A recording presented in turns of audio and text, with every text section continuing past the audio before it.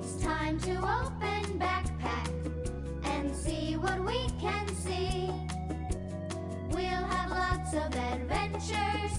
Explore backpack with me. Backpack is full of fun things we use each day in school. Stories, puzzles, songs, and games. Backpack is really cool. It's time to open backpack what we can see.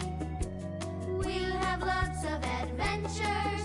Explore Backpack with me. Backpack is full of fun and facts, projects and pictures too.